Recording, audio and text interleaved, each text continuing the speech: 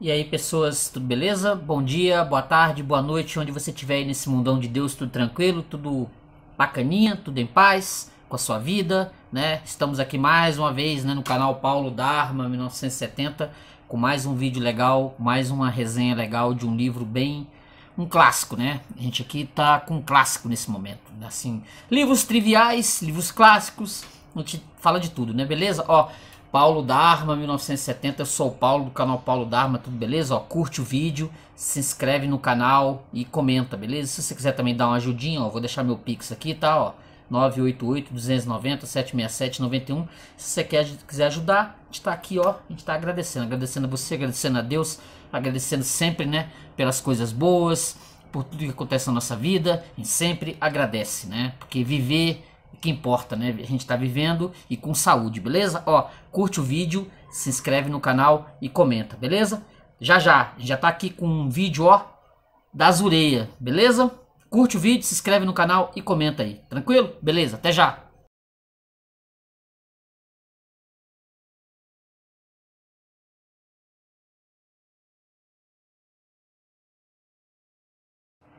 E aí, tranquilo, gente? Tranquilo, pessoas? Olha, é o seguinte, por esses dias, por esses dias eu andei lendo essa maravilha aqui, ó, As Aventuras de Telêmaco, filho de Ulisses, do François Salignard de Lamotte Fenelon, esse clássico aqui, ó, que reverbera esse material aqui, a Odisseia do Homero. O que acontece é o seguinte, é, nós temos, nós temos é, clássicos é, à vontade, né? Nós temos livros, livros que hoje, em 2022, depois de 200, 300 anos, 400 anos, mil anos, se tornaram clássicos assim é, indefectíveis da literatura, né? Materiais que nós nós lemos é, é, muitas vezes para tirar é, tirar algo para nós assim para nós como se fosse uma questão de, de, de livros que você você lê para se, se tornar melhor para você melhorar como pessoa e esse Fenelon Fenelon né esse Fenelon ele foi um indivíduo que foi um pedagogo um pedagogo pensava a educação é, a educação dos reis, né, a educação dos príncipes. Ele tinha como propósito, esse francês, ele tinha como propósito é, educar os reis para que os reis é, se tornassem é, reis extraordinários, reis melhores do que na maioria das vezes acontece, é, acaba acontecendo de não serem, né? Os governantes, os políticos, essas pessoas que muitas vezes nos governam, governam a nossa existência.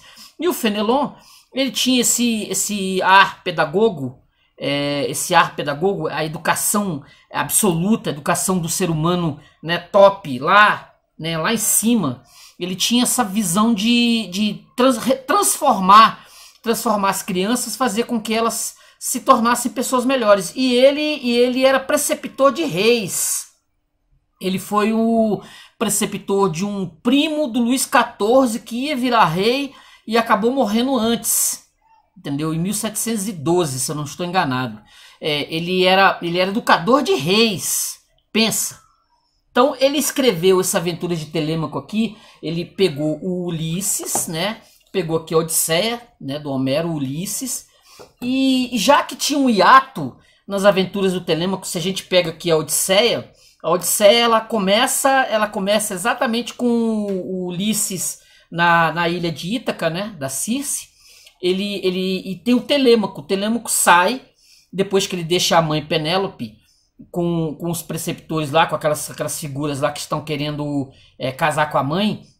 Ele vai, ele sai em busca com o mentor, o mentor que é o indivíduo que o pai Ulisses tinha deixado deixado para cuidar dele, né, para dar os, os toques. Ele aqui na, na Odisseia, logo de princípio, a gente vê a, a, a, história do, do Telêmaco logo de cara, né? Ele na ilha de Ítaca. Ele, ele, ele tá desesperado com o que está acontecendo. Ele, ele tá querendo a volta do pai de qualquer forma. O pai está há 10 anos. O pai está há 10 anos lá na Guerra de Troia.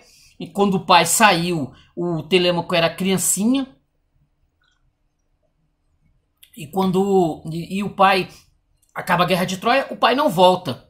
O pai não volta. Passa-se alguns alguns anos e, a, e a, todas aquelas figuras que estão ali ao redor querendo casar com a Penélope para poder reinar em, em Ítaca, o que acontece? Ele toma uma, ele toma uma, ele tem uma ideia, ele tem uma decisão. Ele quer encontrar o pai. O pai está perdido em algum lugar. O pai, ele acredita que não morreu.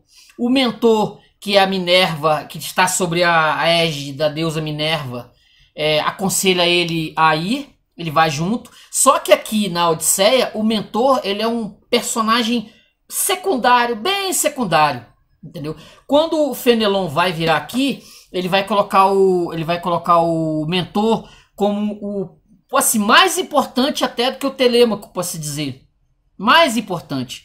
Ele vai ser o indivíduo que vai tornar o Telêmaco é, de criança, de adolescente, em homem. Ele vai dar conselhos o tempo todo. E esses conselhos são de fundo pedagógico. Hum? Esses conselhos são de fundo pedagógico. Aqui, ó. Vou pegar aqui como exemplo. Deixa eu ver. Olha só essa, esse pedacinho aqui. Ó, que são, é, é, é, são vários. O livro é recheado disso. O livro é recheado dessas, dessas, desses conselhos do Telêmaco aqui, ó, do, do mentor. Olha aqui. Mentor respondeu-lhes: Respeite o que os deuses revelam e não tente descobrir o que eles querem esconder. É por sabedoria por uma sabedoria cheia de bondade, que os deuses escondem uma noite impenetrável os destinos dos frágeis homens.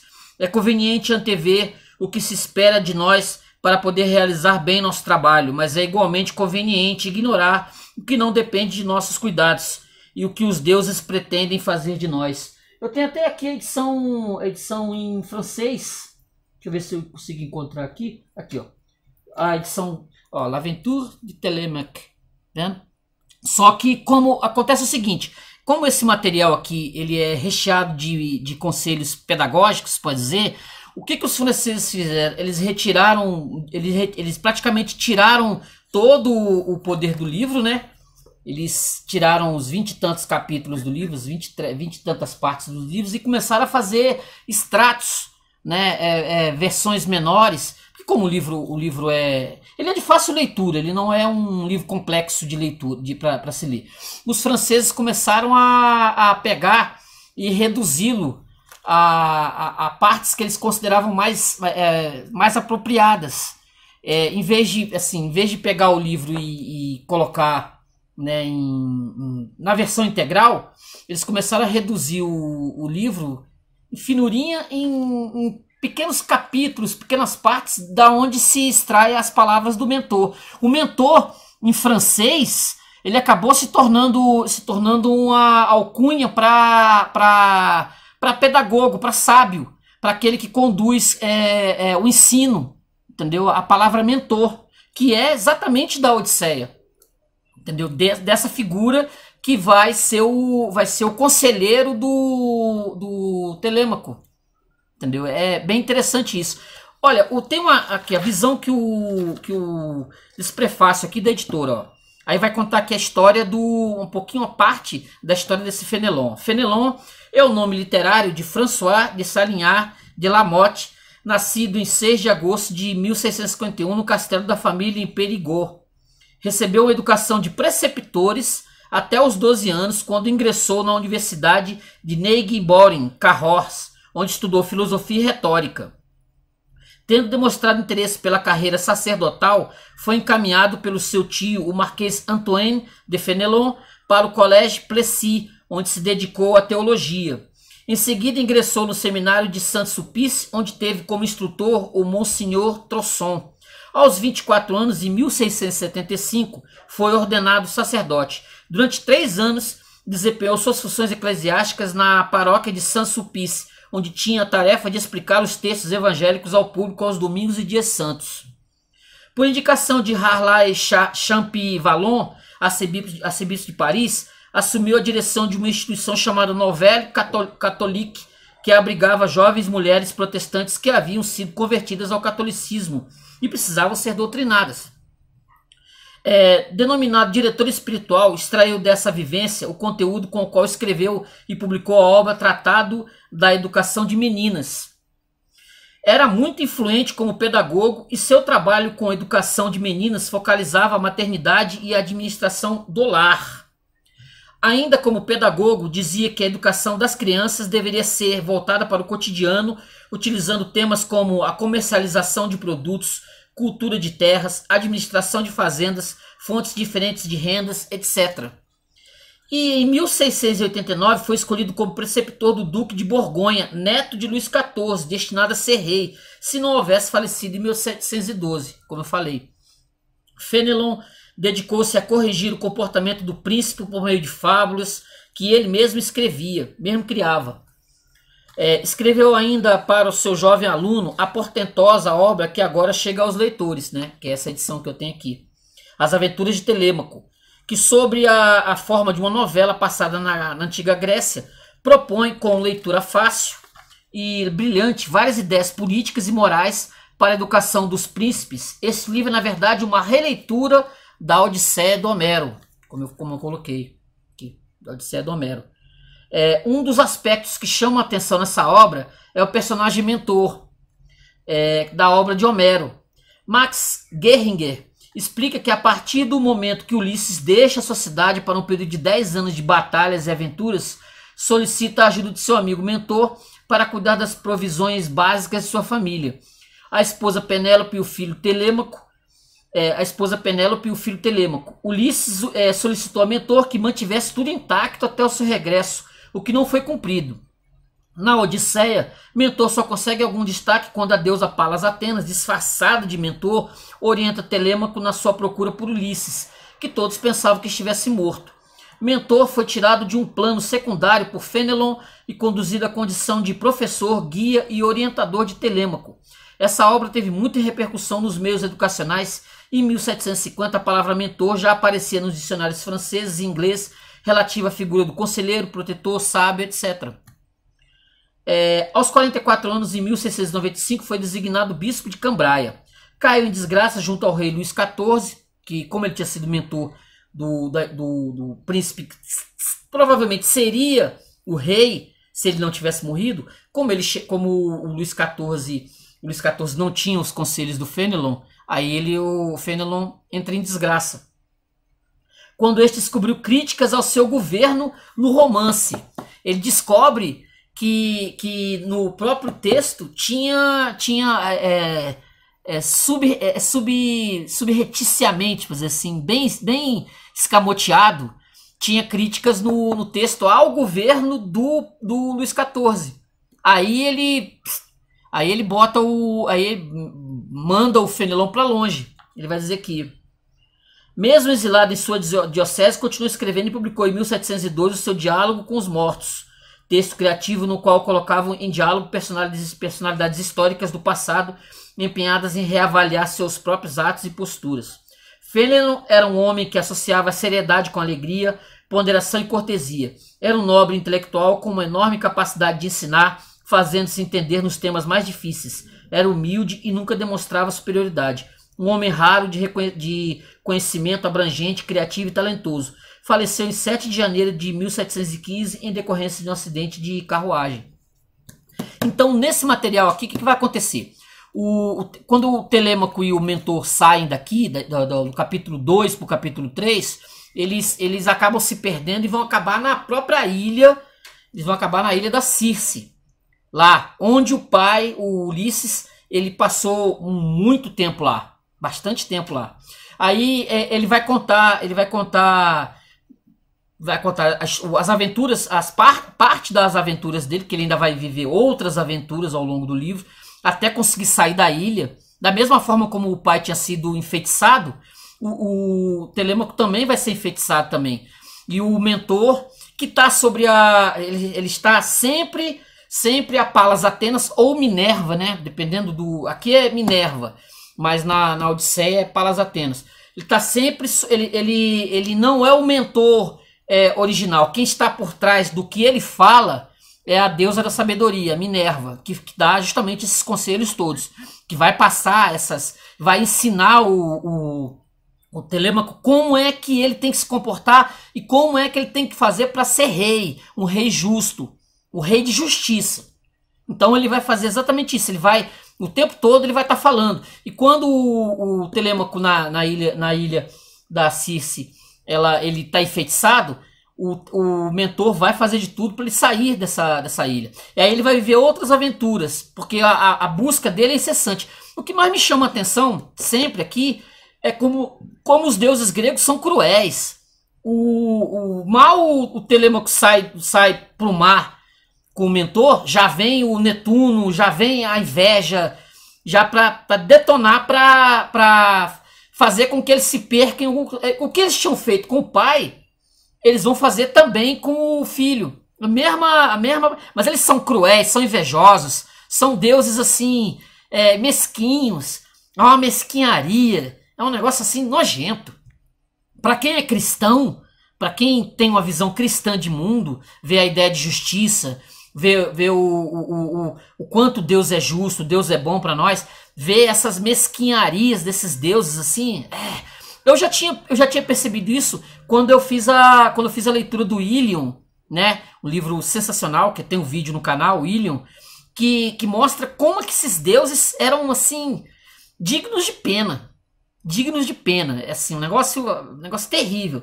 Então ele vai, ele vai passar várias, ó, tem várias passagens aqui que eu acho que eu tirei como interessantes, né? Deixa eu ver aqui, uma aqui bem bacana. É... Aí ele falando, ó, mas Mentor o repreendeu severamente. Você fica admirado de ver, perguntou ele a Telêmaco, que os homens mais dignos de estima continuam sendo homens, apesar de exibir alguns resquícios das fragilidades da humanidade, quando se encontram envolvidos nas inúmeras ciladas e embaraços inerentes à realeza. É verdade que Idomini foi criado nas ideias de luxo e arrogância, mas que filósofo teria logrado defender-se da bajulação se estivesse em seu lugar? É verdade que ele se deixou influenciar demasiadamente por pessoas que gozaram de sua confiança, mas os mais sábios reis são enganados com frequência, não importando, não importando, importando o cuidado que tomam para não sê-lo. O rei não pode dispensar ministros que o aliviem da parte de parte do trabalho em quem confia, dado que não pode fazer tudo sozinho. De resto, um rei conhece muito menos que, outros, que os outros homens que o rodeiam.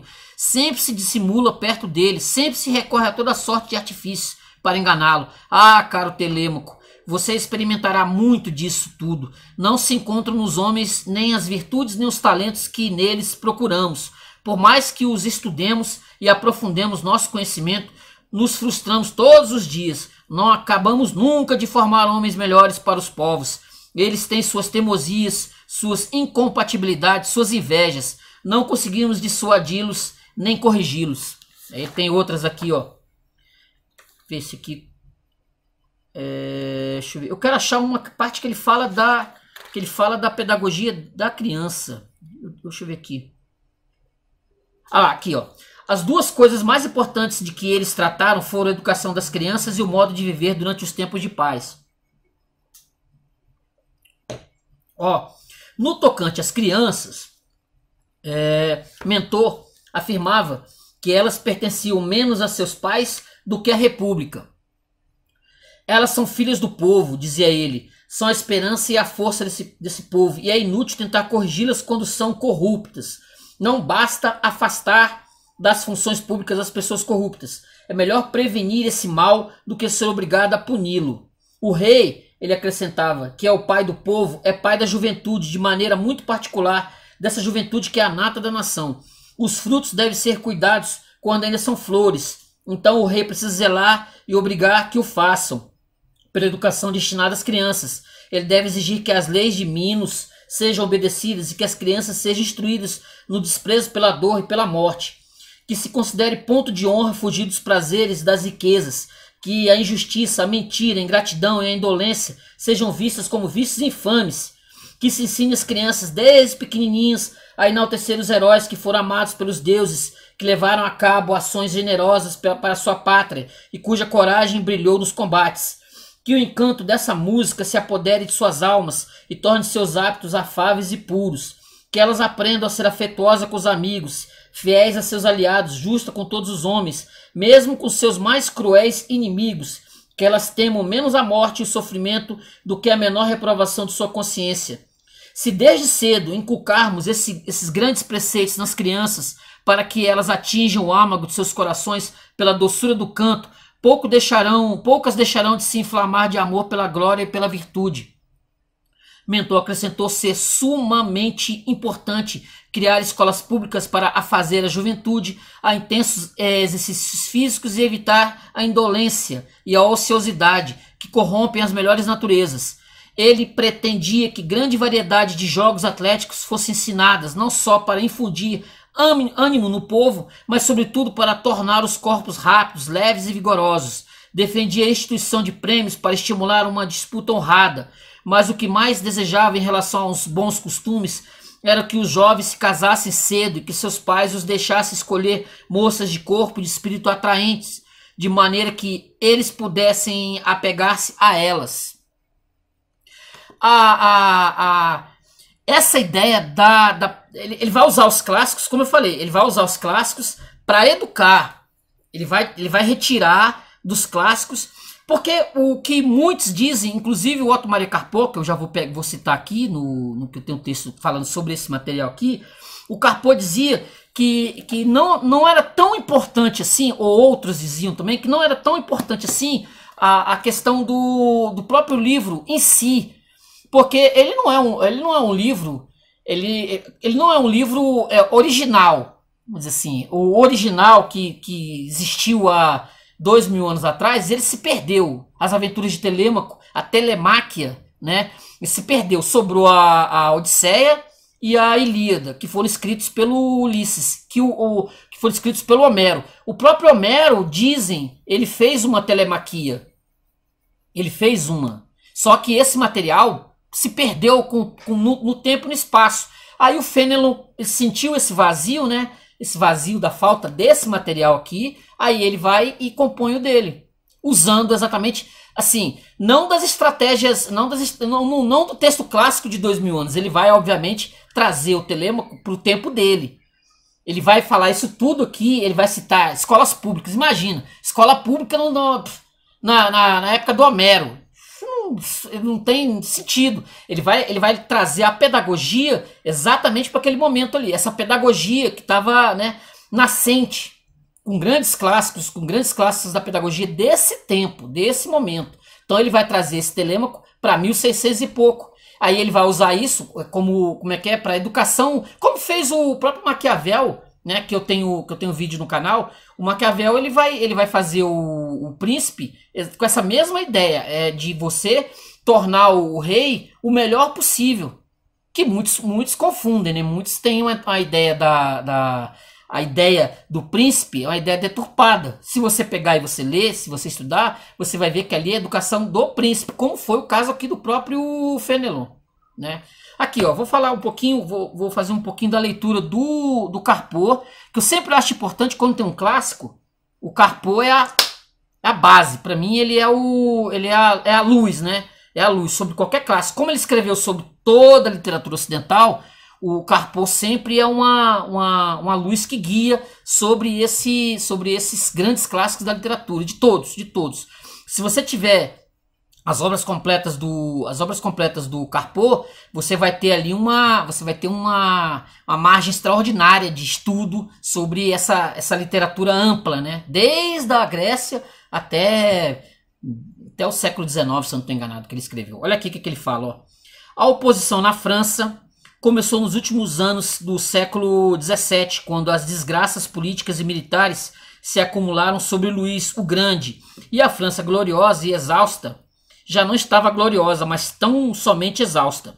O rei ouviu ou deixou de ouvir diversas advertências, é, nenhuma tão insistente, porque nenhuma tão prudente como a de Fenelon. O arcebispo de Cambrai é uma das personalidades mais fortes da história espiritual da França, tão forte que sobreviveu a sua obra, a de um precursor sem discípulos diretos, Quase toda a sua literatura hoje ilegível já não é conhecida senão em trechos seletos de antologias escolares. Foi o que eu falei, os franceses hoje eles, eles, só, eles só pegam o material e fazem antologias, eles não, eles não se dedicam à leitura do, do livro em si, mas eles fazem esse, esse tipo aqui ó, que eu tenho em mão, ó, que caiu exatamente na minha mão, que é uma antologia. Né? É, é, se dá o trabalho de, de pegar o texto todo e, e ler, Aí eles fazem antologias aqui. Ele tá dizendo, continua. Ó. É, Quase toda é, é o estilo de Fenelon fluido, elegante, cheio de imagens convencionais, untuoso, ondoyant, é a expressão perfeita da sua personalidade inquieta que se esconde atrás de maneiras polidas.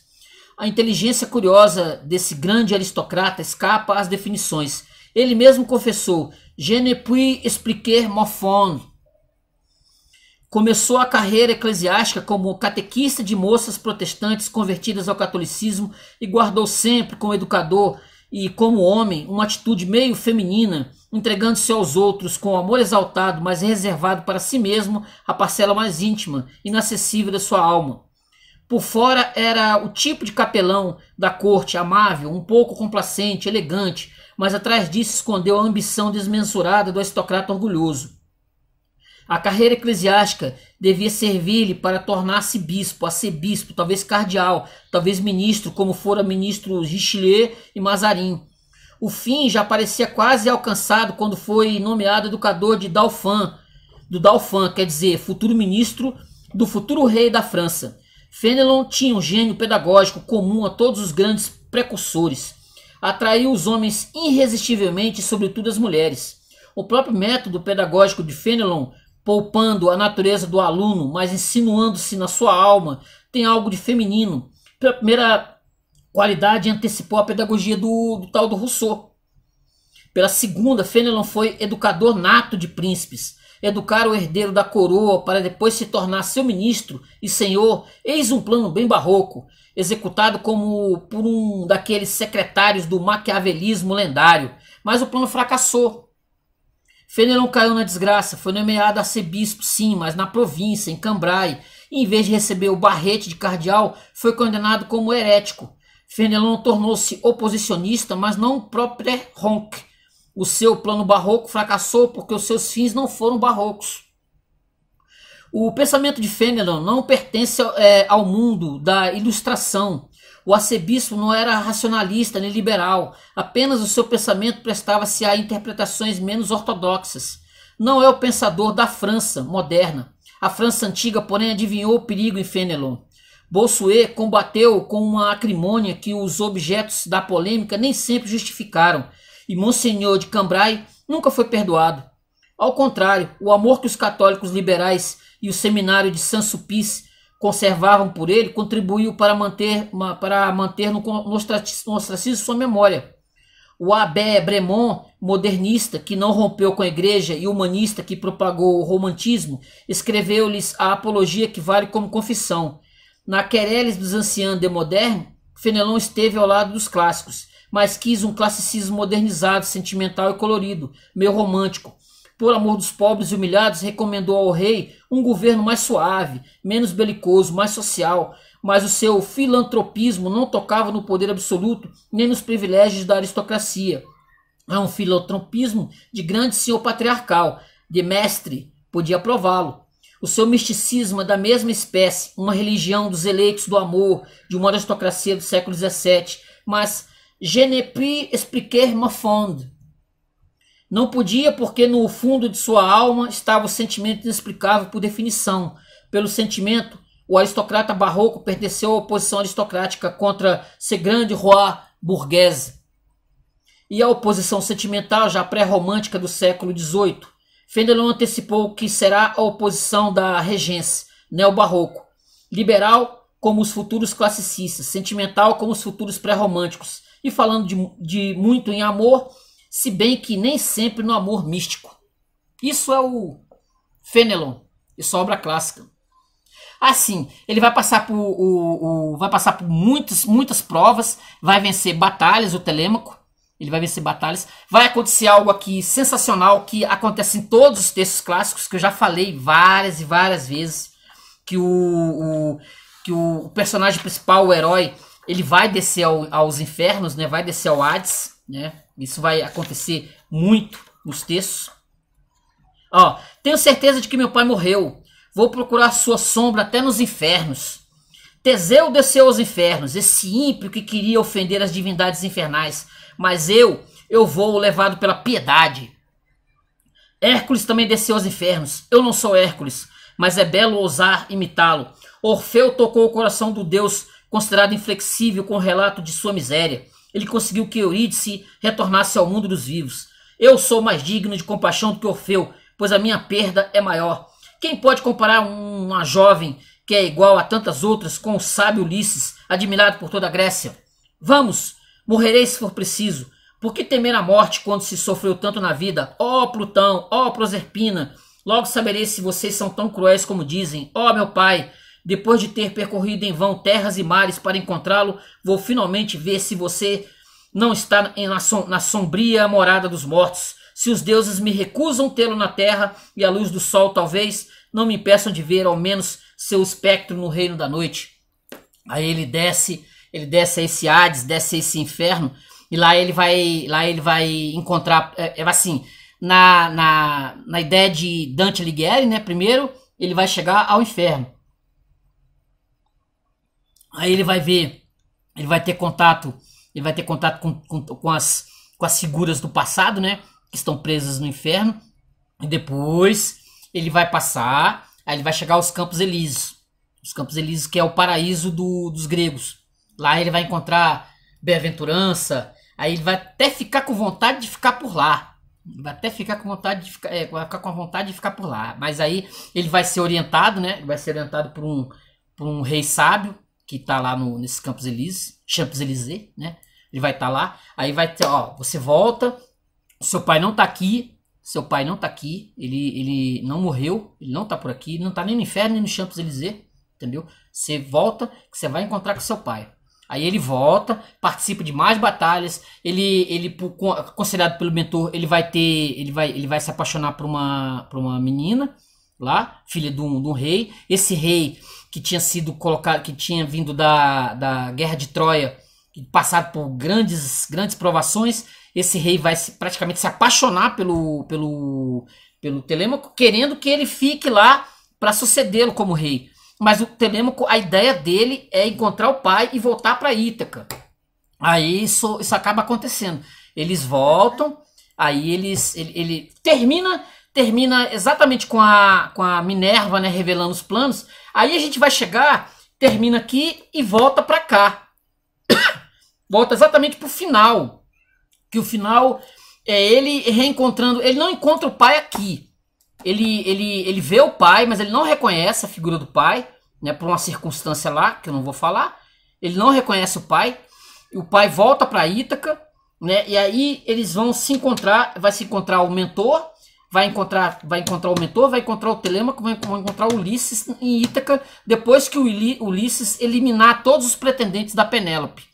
Entendeu? Então aqui você não vai ter, não vai ter o, o encontro propriamente dito. Você só vai encontrar, você só vai descobrir o encontro aqui quando você pegar a Odisseia. Você pegar a Odisseia aqui, ó, para ler, ó. Aí você vai ver exatamente o início aqui também, né? Esse ato que, que aqui você você não vai ter esse, você não vai ter, óbvio, você não vai ter a telemáquia aqui na, na nesse livro aqui, você só vai ter Ulisses, a Odisseia do Ulisses você vai, aí o Fenelon ele vai fazer exatamente isso, ele vai, ele vai pegar esse ato, vai juntar, né, o início e o fim, vai estar tá aqui, ó. Então, se você pegar esse material para ler, né, esse clássico para ler, você vai, você vai, você vai se surpreender como não, ele, ele, ele não encontra o pai, mas ele vai para Ítaca. E aí Ítaca aqui que ele vai encontrar com o pai. Beleza, gente?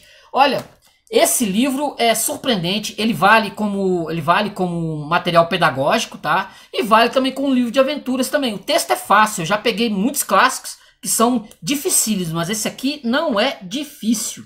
Não é a leitura não é difícil. Assim, não exige que você tenha um conhecimento né? Mas se você leu a, a, a Ilíada e a Odisseia, já ajuda bastante, viu? Já ajuda bastante o material.